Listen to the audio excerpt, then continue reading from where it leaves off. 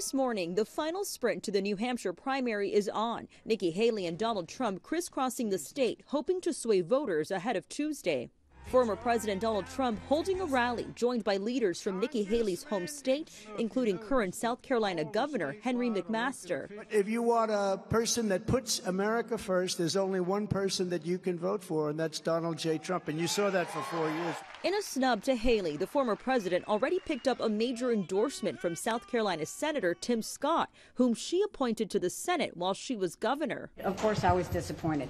He's got to live with that decision. I don't have to live with that decision. Haley scooping up support of her own while not officially endorsing any candidate. Asa Hutchinson, who has suspended his campaign, throwing his support behind Haley in Tuesday's primary posting on X saying anyone who believes Donald Trump will unite this country has been asleep over the last eight years. A win on Tuesday could help fast track Trump to a third GOP presidential nomination, though polls show Haley trailing close behind. I am voting 100% Republican.